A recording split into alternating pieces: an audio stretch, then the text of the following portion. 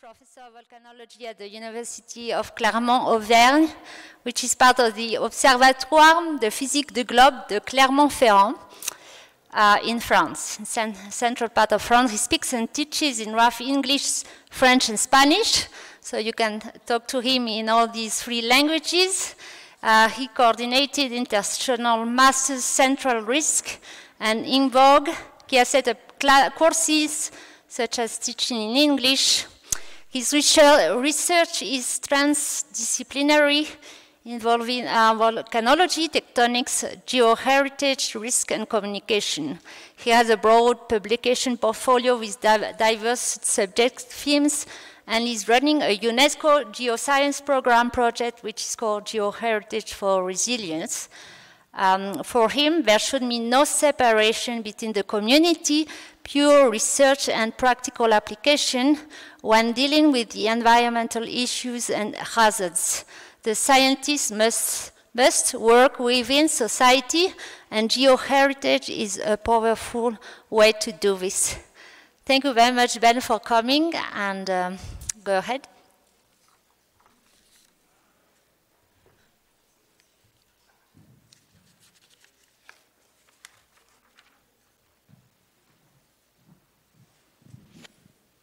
Okay. Buenas tardes. Good afternoon. Para ayudarle, para ayudarles, tengo lo que voy a decir en inglés. For those who need it, um, I have the talk written in Spanish as well as English. So, so there you are. Right, the first thing is I'd like to apologize for using the word geologist. We're not all geologists here. I'd rather think of ourselves as people, okay? And I think most geologists are people at least, so uh, there we are. And here's an example up here of people working on a geological object. We have on the right side, there's a psychologist. Uh, next to her, there is, just have to remind myself, an anthropologist. Then there's an artisan, quarry worker, and finally a geologist. And they're holding a plaque of a tallado, uh, an engraving of the UNESCO project that Marie Noël uh, is also part of. She's the secretary of the project. So uh, that's where we are, working on a geological object but with everybody included. The cantero there lives in the quarry. Okay, next. It works. Okay, so um, when I was working out this, I was thinking about, I was watching Mexican cinema and other cinema, I was thinking of really, it's a bit like a spaghetti western, what we're doing. We have the good, the bad, and the ugly. So uh, for those who know Mexican cinema, there are two examples of films by the same director, the same main actor.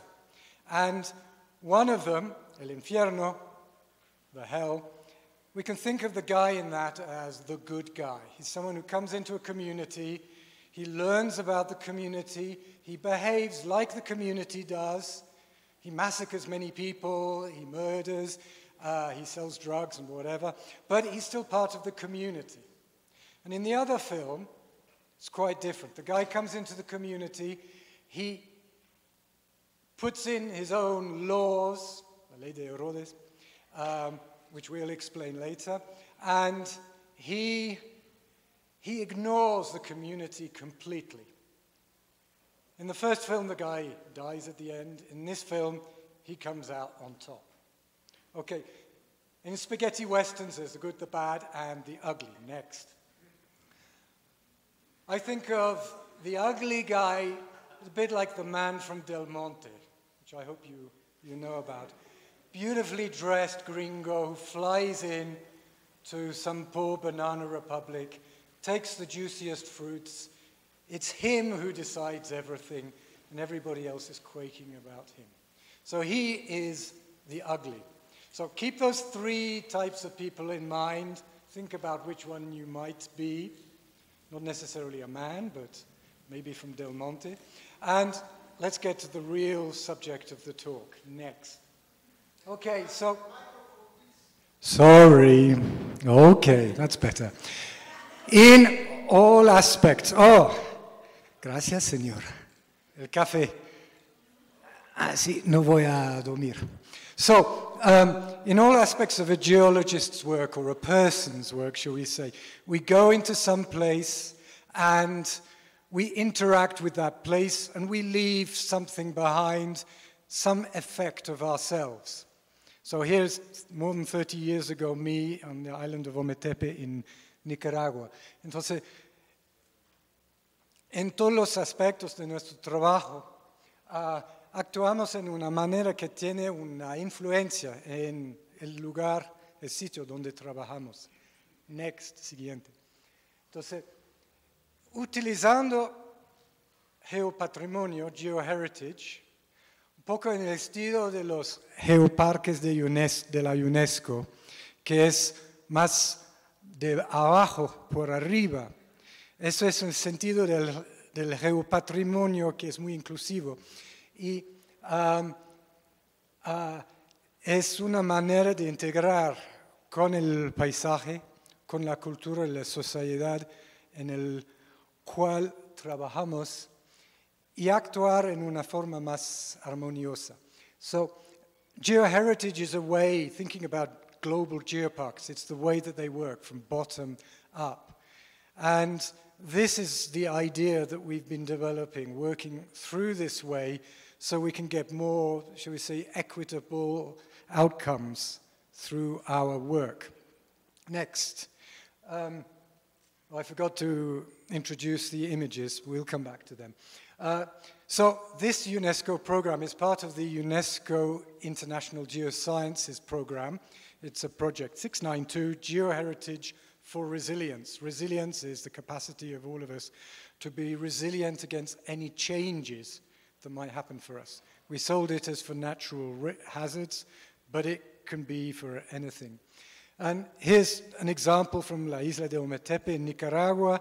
We have Danitza Churata from the Geopark of the Volcanes de Andagua, um, talking with local people of all different types, preparing the way for various different types of work, geologists' work and others, that we're going to do.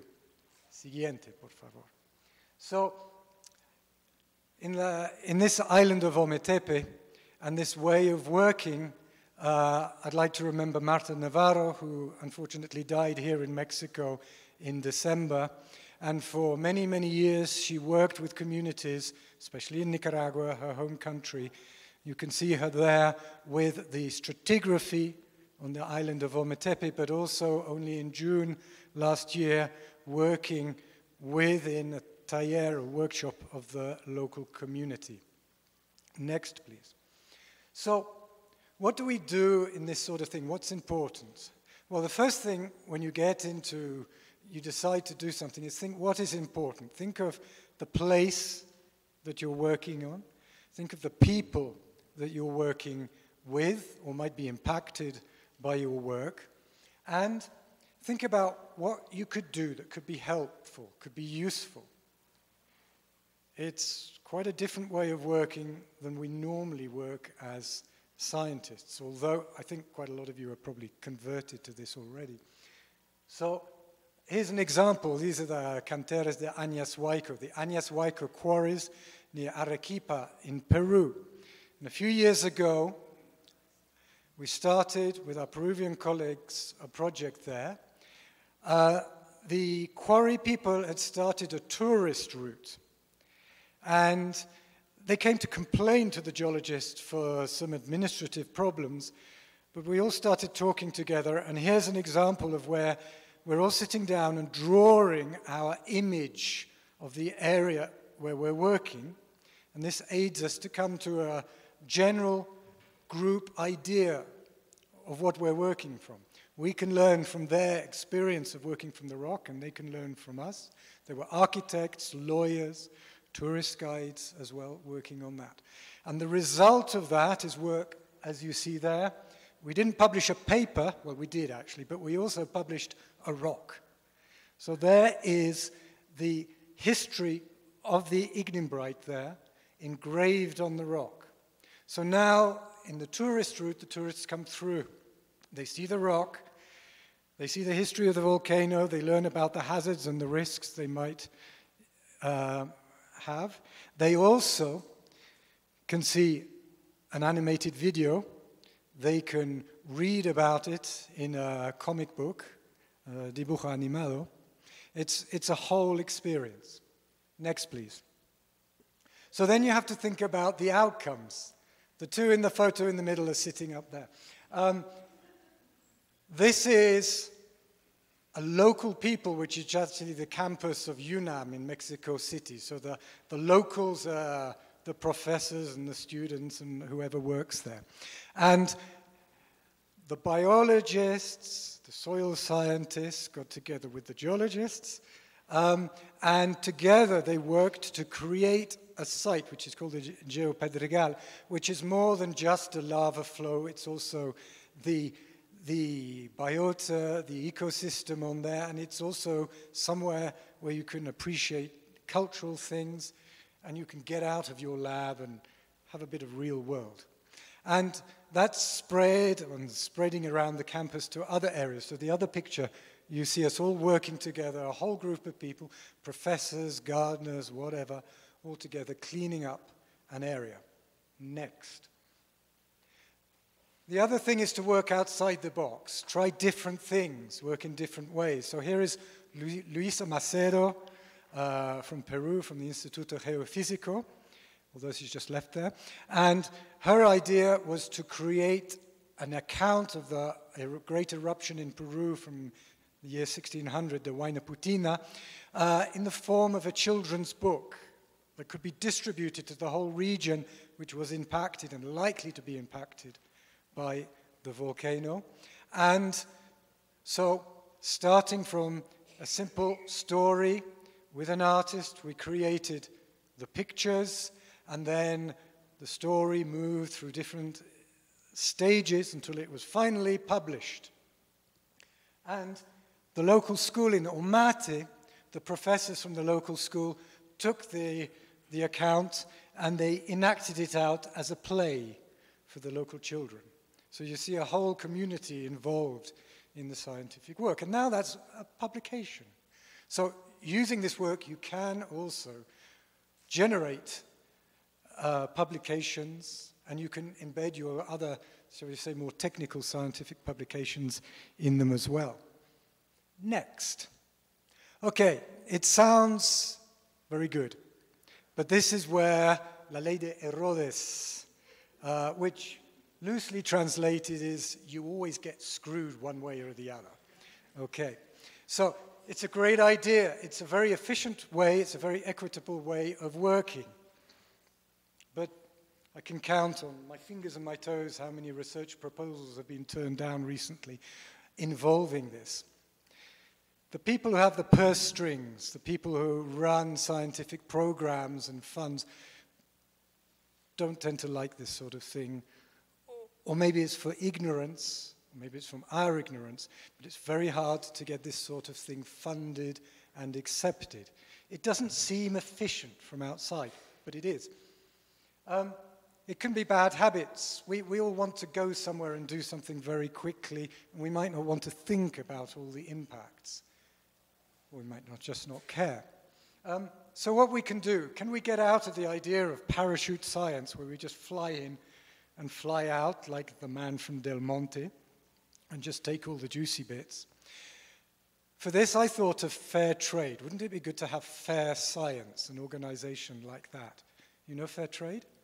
Okay. So, fair science.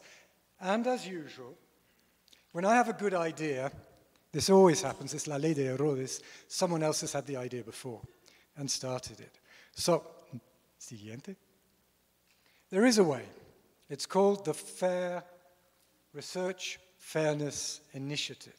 It was started only two or three years ago by health scientists, people who work on diseases and health, especially in Africa, with the idea of being far more inclusive with the people they worked with and find if they could find better ways of working.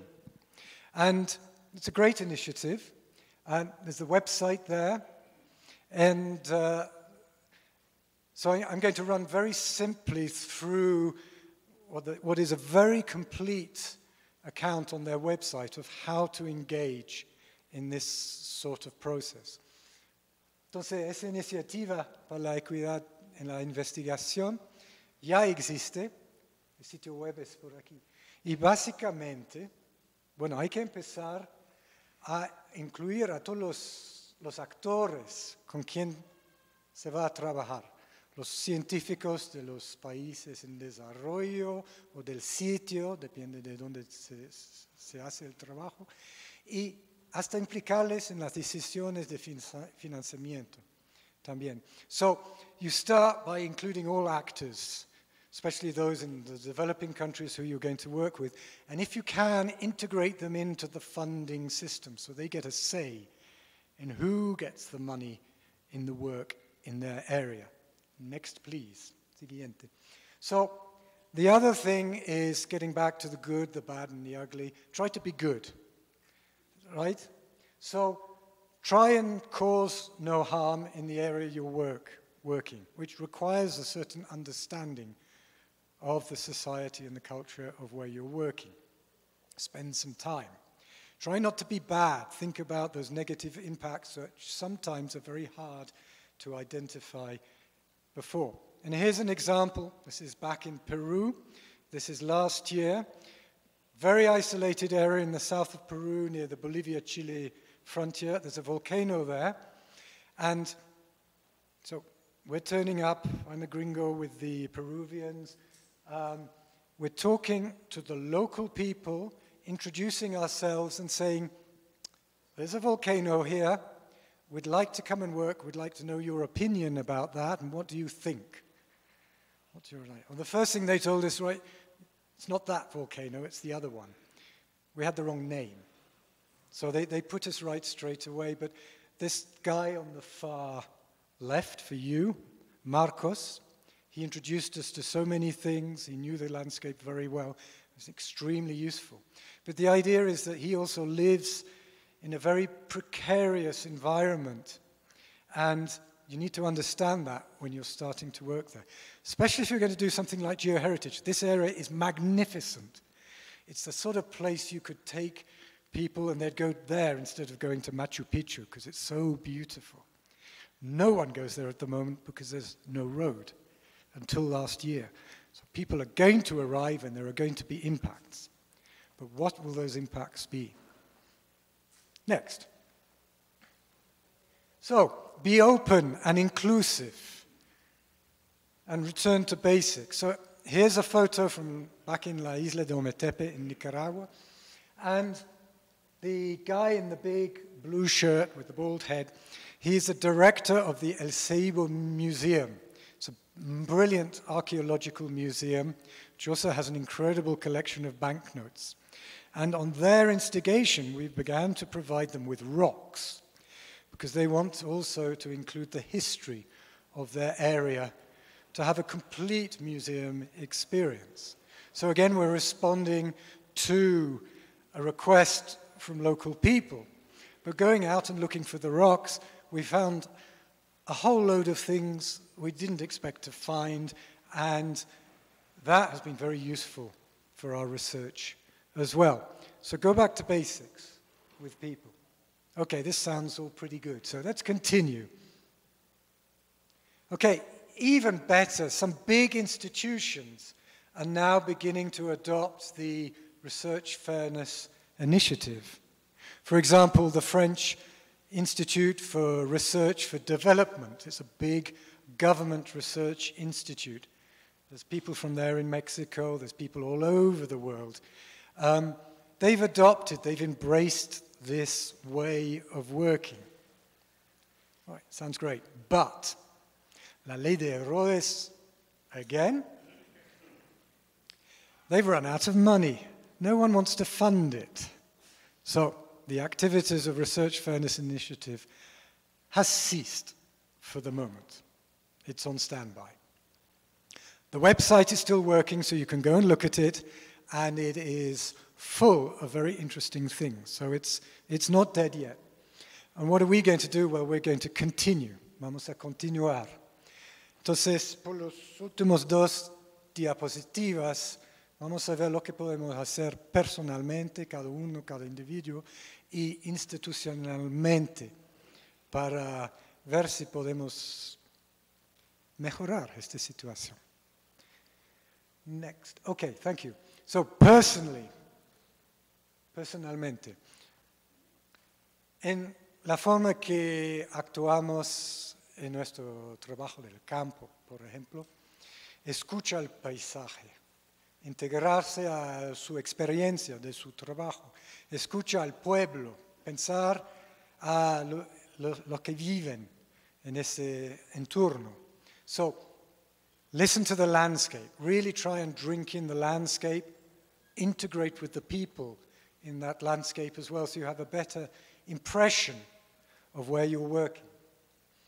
Remember that science is really just a method of doing things, and there are other ways of working that you can integrate that will enrich your work.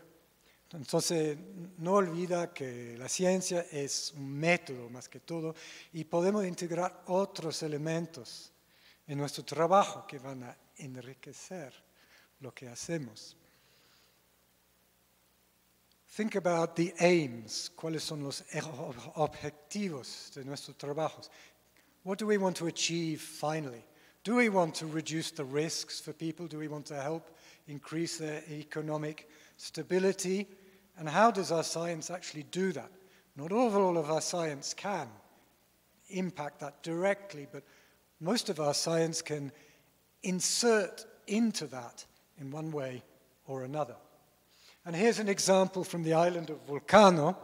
This is two years ago, and a group of actors came in and dancers and worked with the local school children and the scientists. And this is one of the products, it's a film that you can see on YouTube, Tefra, which is the children's interpretation of their island and their life in respect to the tephra that surrounds them, and the volcano, which is ever so close to where they live. This was done just months before the volcano began to reactivate. And these elements enabled the scientists as well to have much more contact with the local people and to for both groups to understand each other better. Okay, situation is not perfect, but it's better than it was. Lastly, what can we do institutionally? Siguiente. Es la última. Okay, open up discussion. Como estamos haciendo ahora. Discutimos abiertamente de esos temas. Abrir el debate. Aumentar la sensibilización. Hablar y intercambiar sobre los elementos, los problemas, las buenas prácticas, por ejemplo, que podemos tener. So increase awareness of the, the issues that you may have where you come into somewhere and work in a place. And also for the people who live and work in this place, for example, observatories or people in Morelia and people from Mexico come to work here or gringos like me. Uh, what do you expect from us, really? That would be useful to know. So, good examples. I've shown you a few good examples. They're not the only ones. We've heard quite a lot throughout the last day or so, actually, of how things can be done well.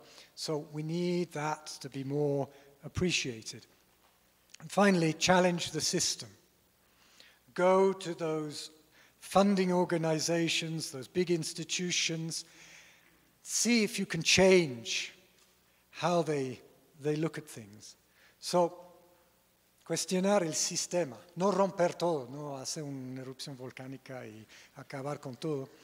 Sabemos que las re revoluciones tienen también, uh, hablando como un francés y ustedes como mexicano, las revoluciones tienen de vez en cuando uh, efectos nefastos también.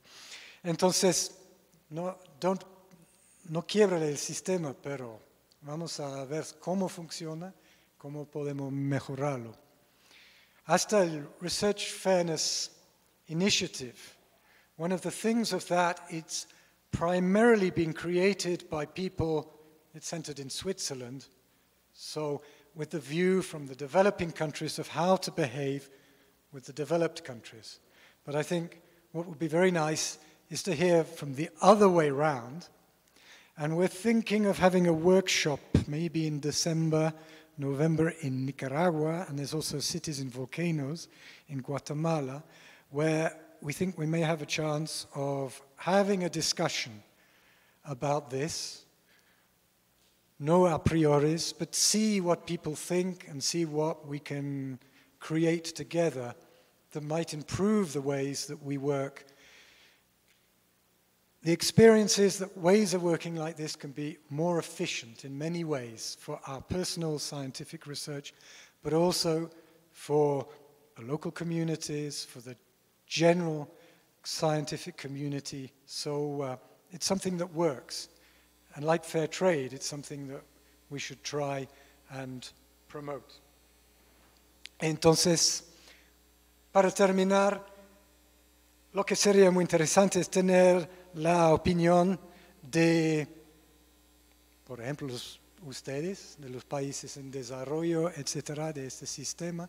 Y vamos a tener un workshop en Nicaragua y probablemente un otro con el COV en Guatemala en febrero del año próximo para discutir y, y ver lo que se piensa de estas iniciativas. Gracias.